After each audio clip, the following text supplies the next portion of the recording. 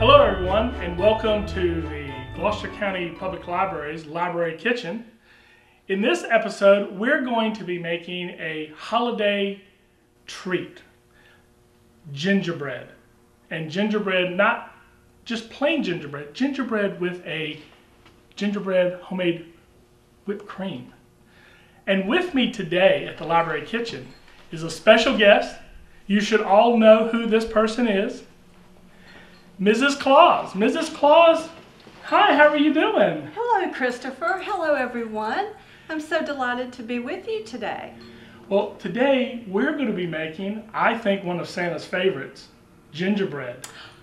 It is one of Santa's favorites. He loves gingerbread. And you know, I love to bake. In fact, I'm kind of famous for my cookies. So it's a real thrill for me to be here today to bake gingerbread with you. Well, the recipe that I'm making today, Mrs. Claus, is something uh, that's been in my family for about 60, 70 years now. My grandmother used to make gingerbread during the holidays for my mother when she came home from school. Your grandmother. Was your grandmother Mary? Yes, Mary Riley. I knew Mary when she was a little girl, and I knew your mother, Martha Page, when she was a little girl. Really? So this is indeed a real treat. Well, my mother actually found my grandmother's cookbook from 1946 in our attic about two months ago, and she gave that cookbook to me. The cookbook is Rumford Complete Cookbook, uh, 1946. Actually, I believe it was first published in 1908. Well, you're right. 1908 was the first edition. I knew I was. I know my cookbooks. So, do you mind reading the recipe from the cookbook for me so that I can demonstrate to everyone how to make this gingerbread? It would be my pleasure. All right. Well, thank you. Okay. So, what are we going to be using as our ingredients in this gingerbread? Well, the first thing you're going to do is you're going to combine shortening, sugar, and molasses. So you'll need 3 fourths cup of melted shortening. Okay. Well, we're going to go over to our stove real quick and get that shortening. Well, I've melted my uh, shortening in a bowl here, and I'm going to put that in my mixing bowl. So it's three quarters of a cup of melted shortening.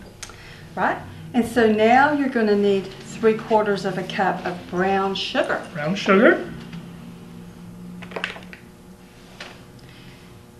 And finally, 3 quarters of a cup of molasses. All right.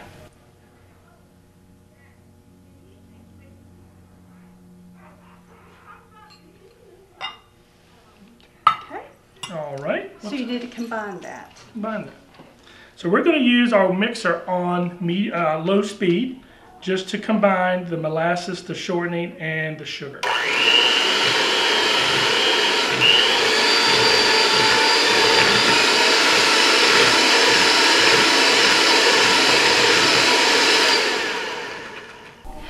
Okay, so the next thing you need to do is add eggs. And it looks like you need two eggs beaten. All right. So we're going to add our eggs into the mixture.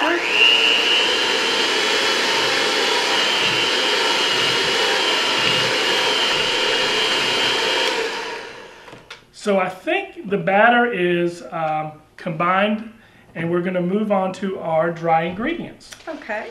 So for this, Okay, so for the dry ingredients, looks like you've already got two and a half cups of sifted flour. I do. And you need two teaspoons of baking powder. Uh-huh. And the next ingredient, Will be a half a teaspoon of salt. all right, our salt, our baking powder, and Then you'll need a half a teaspoon of baking soda. and that's both in this bowl. Oh, okay. And then you need one and a half teaspoons of ground ginger, And this is our ginger, one teaspoon of ground cinnamon, and this is our cinnamon. and a quarter teaspoon each of ground cloves and nutmeg. All right, cloves, nutmeg. And for this recipe, there was a notation in the cookbook my grandmother made where she would add a pinch of white pepper. And it gives that gingerbread just a little something extra, A little spice. A little spice. Yes. All right. Okay. And I'm gonna use my whisk and I'm gonna combine the ingredients with the flour and mix it very well.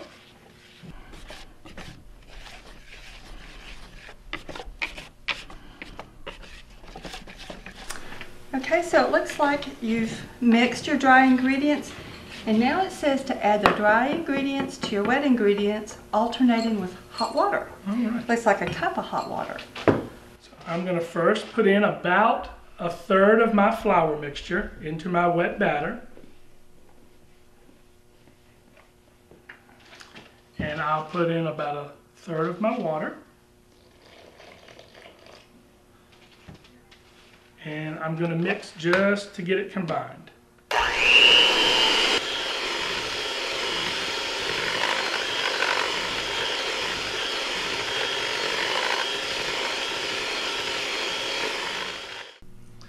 All right, I'm going to continue alternating my dry ingredients and my water into the batter. So one more third.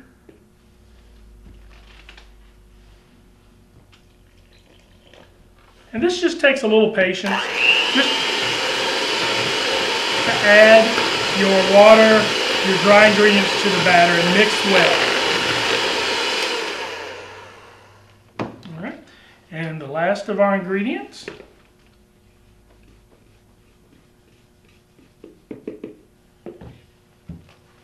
last little bit of water. And we're going to now mix uh, thoroughly and make sure we don't have any pockets of any dry flour um, in our batter, uh, which should take about maybe 30 seconds to a minute. You may need to stop halfway through and scrape down any uh, dry flour that has accumulated on the side of your mixing bowl. So just stop, scrape down any bits of dry flour, and continue to mix until smooth.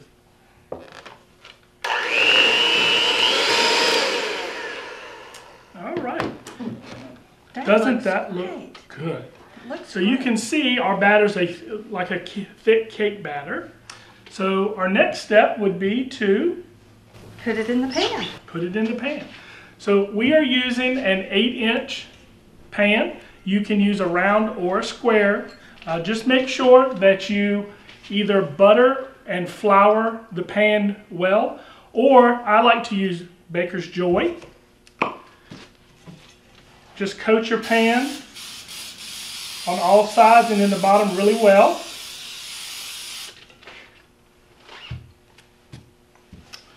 And Mrs. Claus, you had made a comment earlier that you had a special ingredient to add to our have a batter. special ingredient. And I, I'm so honored that you're going to let me add it to your grandma's recipe. This is an ingredient I add to all of the cookies and cakes I bake for Santa. It's called Christmas cheer. So let's add a little of that. Oh, thank you. We're going to mix in the Christmas cheer really good. Oh, and once you put it in the pan, be sure that when you put it in the oven, you bake it with love.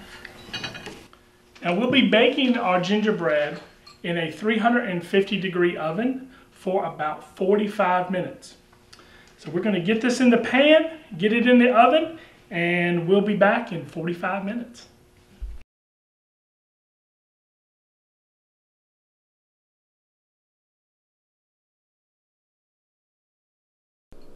Well, it's been about 45 minutes and our cake has uh, been in the oven and cooked. And I inserted a toothpick at about the 40 minute mark just to check to see. Um, when you insert a toothpick and it comes out clean, that's when you know your gingerbread is done. And it took for us about 45 minutes at 350. So we're letting this cool on the table. We're going to be making a homemade whipped cream topping for this gingerbread. Now, just not any whipped cream topping. It's going to be, of course not. It's going to be gingerbread whipped topping. So Ooh, that sounds so good. it is to die for. And could I tell you one thing, Christopher? Sure. It smells like Christmas in this kitchen. Well, we're going to start with one cup of heavy whipping cream in a stainless steel bowl that I have put in our freezer for about an hour. So you want this, uh, your whipping cream extremely cold as well as the mixing bowl that you're going to be making the whipped cream in. So we're going to put that there.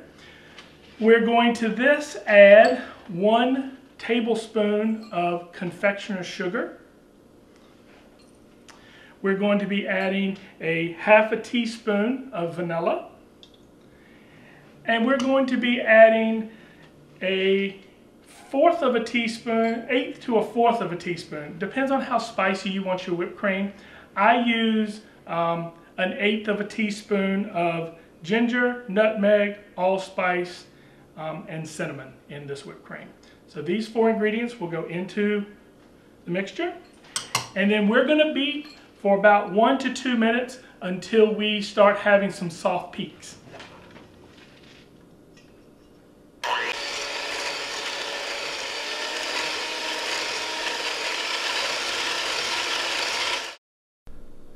Well, we've beat our whipped cream for about two, two and a half minutes, and you can see we have got some nice stiff peaks here.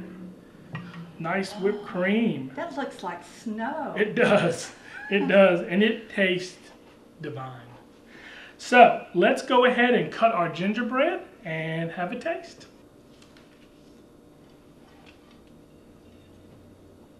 There you go.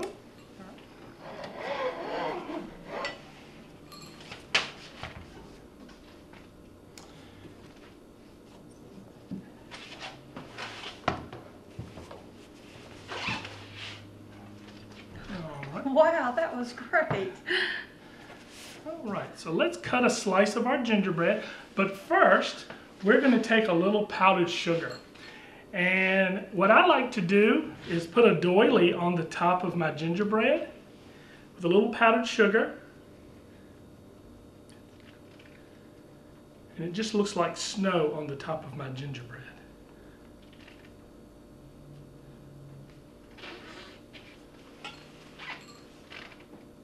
Very nice. Very right. nice.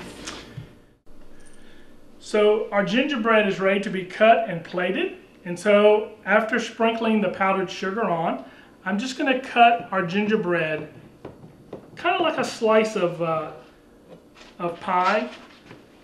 If you use a uh, square pan, um, you know, it's, it's more like a brownie.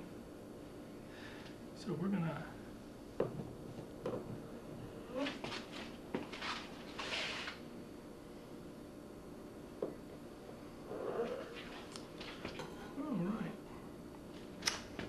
Oh my, that is truly beautiful.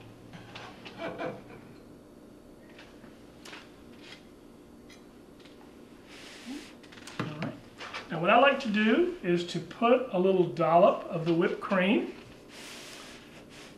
right here beside the gingerbread.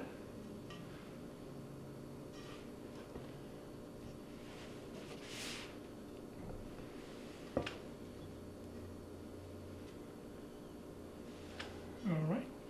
And then at the very end, I like to take a little cinnamon and dust the whipped cream with a little bit of cinnamon.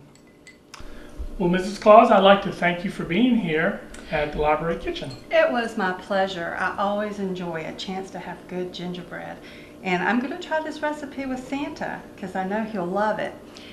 And by the way, I will be back here on December 12th with Santa to visit with the boys and girls in Gloucester. So if you're interested in coming to see Santa on December 12th, you can call the Gloucester Library at 804-693-2998 to make a reservation. And I do want to say that I do always enjoy visiting with my friends here at the library because everyone is on the nice list. And I know you're on the nice list too. And you're on the nice list with the gingerbread. Thank you, Thank you. Christopher. Thank you.